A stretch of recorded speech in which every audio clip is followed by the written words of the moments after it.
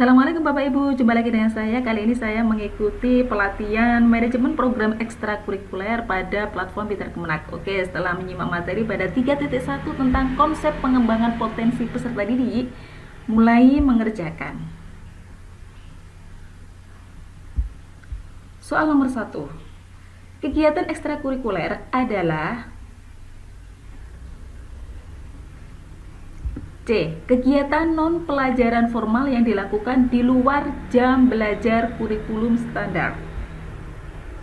Nomor 2. Fungsi sosial dari kegiatan ekstrakurikuler adalah Fungsi sosial A. Membantu peserta didik berinteraksi dan bersosialisasi dengan orang lain, membangun jaringan dan relasi, serta mengembangkan sikap dan nilai-nilai sosial. 3. Tujuan kegiatan ekstrakurikuler adalah A. Mendukung perkembangan personal, sosial, dan karir peserta didik 4. Pengembangan potensi peserta didik adalah D. Proses yang bertujuan untuk membantu peserta didik mengenali, mengembangkan, dan menyalurkan kemampuan bakat dan minat yang mereka miliki. 5. Fungsi pengembangan dari kegiatan ekstrakurikuler adalah hampir seperti soal fungsi sosial tadi ya. Hati-hati Jawabannya adalah D untuk fungsi pengembangan membantu peserta didik mengembangkan potensi fisik dan psikologis, sikap dan nilai-nilai positif serta rasa percaya diri dan motivasi. Oke, selesai ujian. Yakin? Alhamdulillah lolos passing grade. Kita lanjutkan pada soal 3.2.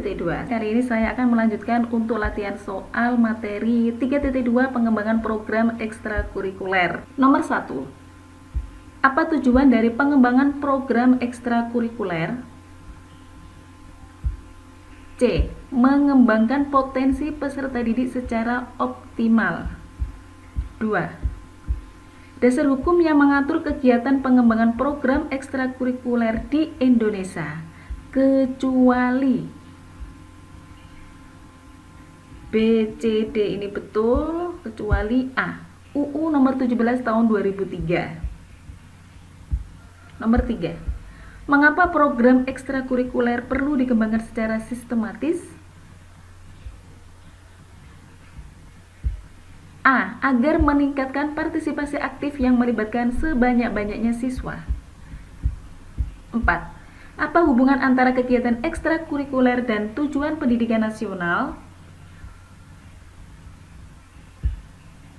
C. Kegiatan ekstrakurikuler merupakan salah satu kegiatan dalam program kurikuler. 5. Apa peran satuan madrasah dalam mengembangkan kegiatan ekstrakurikuler? Bertanggung jawab dalam pengembangan dan pengelolaan ekstrakurikuler sesuai kebutuhan, potensi, dan bakat peserta didik. Baik, kita cek lagi nomor 1C, 2A, 3A, 4C 5D selesai ujian yakin Alhamdulillah lolos passing grade. Baik Bapak Ibu kita lanjutkan ke latihan soal 3.3 Saya akan melanjutkan untuk latihan 3.3 tentang perencanaan program ekstrakurikuler. Setelah menyimak materi selanjutnya mulai mengerjakan soal. Nomor 1 Tahapan perencanaan kegiatan ekstrakurikuler yang dilakukan dengan cara melakukan survei, tes, kuesioner, wawancara, atau penawaran tertentu kepada peserta didik untuk mengetahui keinginan, bakat, motivasi, dan kemampuan mereka dalam mengikuti kegiatan ekstrakurikuler adalah B. Identifikasi kebutuhan, potensi, dan minat peserta didik. Nomor 2 Prinsip program pengembangan diri untuk kegiatan ekstrakurikuler yang menjelaskan keragaman potensi, kebutuhan, bakat, dan minat, dan kepentingan peserta didik dan satuan pendidikan adalah B. Prinsip keragaman 3. Langkah-langkah penyusunan program kerja setiap bentuk kegiatan ekstrakurikuler yang meliputi deskripsi program, hasil yang diharapkan, pengorganisasian pelaksanaan waktu pelaksanaan pembina atau pelatih jumlah anggota pembiayaan tempat sarana dan prasarana adalah D. Rambu-rambu penyusunan perencanaan program ekstrakurikuler 4. Jenis pengembangan diri dalam bentuk kegiatan ekstrakurikuler yang menguraikan pengelompokan kegiatan-kegiatan ekstrakurikuler yang dapat diakomodasi oleh satuan pendidikan berdasarkan kebutuhan, bakat, dan minat peserta didik disesuaikan dengan kondisi satuan pendidikan adalah A. Kegiatan keagamaan dan kepramukaan betul B. Kegiatan kesenian dan budaya betul Semua jawaban benar D. Kegiatan olahraga dan kesehatan juga betul Jadi jawabannya C Semua jawaban benar 5. Langkah-langkah penyusunan program kerja setiap bentuk kegiatan ekstrakurikuler yang meliputi deskripsi program, hasil yang diharapkan, pengorganisasian pelaksanaan, waktu pelaksanaan, pembina atau pelatih, jumlah anggota, pembiayaan, tempat, sarana, dan prasarana adalah ini soal persis sama seperti nomor 3. Jadi jawabannya adalah A. Rambu-rambu penyusunan perencanaan program ekstrakurikuler. Baik, kita cek dulu nomor 1B 2B 3D 4C 5A selesai ujian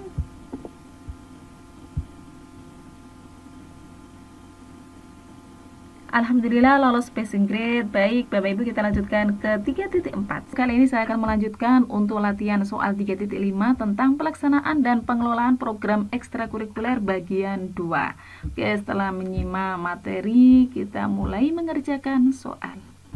Nomor 1. Suatu program yang dilaksanakan untuk memberikan pengetahuan dan wawasan yang luas kepada pelajar putri mengenai wanita baik hal-hal yang umum maupun khusus. B. Ekstrakurikuler keputrian. Nomor 2. Membentuk karakter atau kepribadian dan akhlak yang mulia para generasi muda, menanamkan rasa cinta tanah air dan bangsa di dalam diri generasi muda, menggali potensi diri dan meningkatkan keterampilan para generasi muda sehingga menjadi individu yang bermanfaat bagi masyarakat dan negara merupakan tujuan kegiatan ekstrakurikuler C. Pramuka 3. Jika sekolah tidak memiliki guru atau instruktur yang berlatar belakang pendidikan relevan dan tidak mempunyai guru yang berminat untuk menyelenggarakan program ekstrakurikuler, sekolah atau madrasah dapat mengusahakan dengan cara berikut kecuali karena kecuali kita lihat jawaban satu-satu dulu A. Membina kemampuan yang dibutuhkan melalui MGMP, program pendampingan tenaga guru dalam mengelola kegiatan ekstrakurikuler, betul. Memanfaatkan narasumber atau tenaga ahli yang ada dan potensial pada masyarakat sekitar, betul. C. Mengundang guru atau instruktur di bidang ekstrakurikuler dari lembaga pendidikan lain berdekatan melalui kerjasama yang saling menguntungkan juga betul. D. Menunda pelaksanaan kegiatan ekstrakurikuler karena tidak memiliki pelatih atau pembina. Salah. Jadi jawabannya D. 4. Menurut ketetapan dalam KMA 184 tahun 2019, kekhasan madrasah merupakan A. Muatan lokal 5. UKS merupakan salah satu kegiatan ekstrakurikuler. Trias UKS adalah kegiatan pembinaan siswa yang terdiri dari C. Pendidikan kesehatan, pelayanan kesehatan, pembinaan lingkungan sekolah atau madrasah sehat. Baik, sebelum selesai kita cek nomor 1B, 2C, 3D, 4A, 5C. Selesai ujian.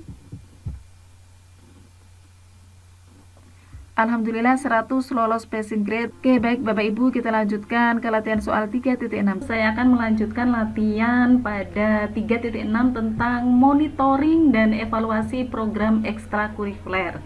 Baik setelah menyimak materi selanjutnya mulai mengerjakan soal. Nomor 1 Evaluasi kegiatan eskul yang dilakukan oleh guru harus memperhatikan aspek-aspek berikut, kecuali B. Jumlah siswa yang mengikuti ekskul Nomor 2 Penetapan tingkat keberhasilan untuk program ekstrakurikuler didasarkan atas standar minimal tingkat penguasaan kemampuan yang disyaratkan dan bersifat B. Individual 3. Evaluasi kegiatan ekskul yang dilakukan oleh guru harus memperhatikan aspek-aspek berikut kecuali A. Jumlah siswa yang mengikuti ekskul 4 Pelaksanaan kegiatan ekstrakurikuler memerlukan pengawasan dan evaluasi yang baik untuk memastikan bahwa kegiatan tersebut berjalan dengan baik dan sesuai dengan tujuan yang ditetapkan. Evaluasi program kegiatan ekstrakurikuler dimaksudkan untuk C. Mengumpulkan data atau informasi mengenai tingkat keberhasilan yang dicapai siswa 5. Evaluasi kegiatan ekskul yang dilakukan oleh guru bertujuan untuk B. Mengetahui keberhasilan siswa dalam kegiatan ekskul. Oke, kita cek lagi. Nomor satu, jawabannya yang sesuai materi adalah B. Dan nomor satu ini pertanyaannya sama dengan nomor tiga ya kalau kita perhatikan. Jadi jawabannya sama. Kemudian 2B, 3A, 4C, 5B. Baik, selesai ujian. 80 ya jadi kemungkinan tadi nomor satu atau nomor tiga ada salah satu kunci yang salah Oke baik Bapak Ibu bisa dilanjutkan atau mau dicoba mengulangi lagi Oke kita mencoba mengulangi yang tadi nomor satu jawabannya B kita coba C Meskipun sebenarnya jawaban yang paling benar adalah B, jumlah siswa yang mengikuti eskul. Nomor 2B, 3A, 4C, 5B. Baik, kita cek.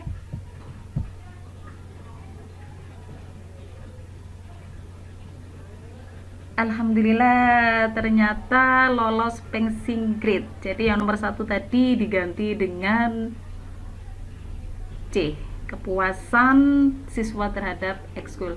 Bapak-bapak ibu terima kasih. Kita lanjutkan ke 3.7 saya akan melanjutkan untuk latihan 3.7 tentang penyusunan laporan program ekstrakurikuler. Ini latihan soal terakhir maka hanya satu kali kesempatan. Nomor satu laporan kegiatan ekstrakurikuler minimal terdiri atas empat bagian yaitu pendahuluan pelaksanaan kegiatan penutup dan evaluasi. Pada bagian pendahuluan laporan kegiatan ekstrakurikuler sekurang-kurangnya harus memuat D latar belakang dasar hukum tujuan sasaran Nomor 2. Laporan pelaksanaan kegiatan ekstrakurikuler harus memuat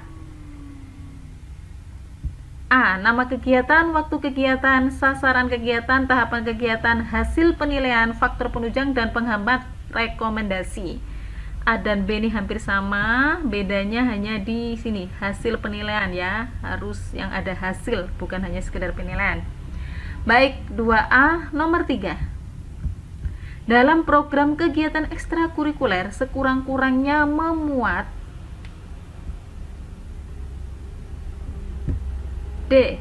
Jenis kegiatan, waktu kegiatan, sasaran, rangkaian kegiatan, tempat kegiatan, peralatan yang digunakan, pelaksana, pengorganisasi kegiatan, dan anggaran. 4.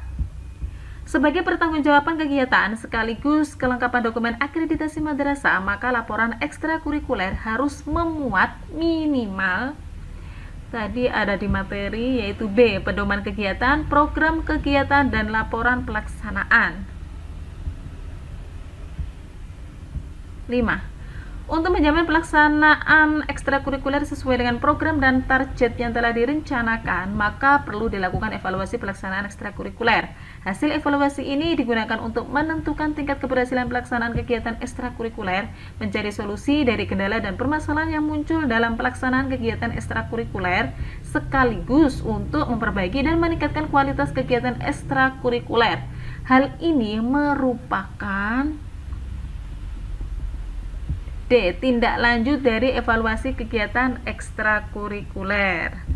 Baik, kita cek dulu nomor 1D, 2A, 3D, 4B, 5D. Selesai ujian. Alhamdulillah 100 lolos passing grade. Oh iya Bapak Ibu, sebelum kita selesai kita harus berikan review supaya nanti mendapatkan sertifikat. Baik, rata-rata 100 untuk pelatihan manajemen program ekstrakurikuler. Terima kasih Bapak Ibu, kita jumpa lagi di pelatihan selanjutnya. Assalamualaikum warahmatullahi wabarakatuh.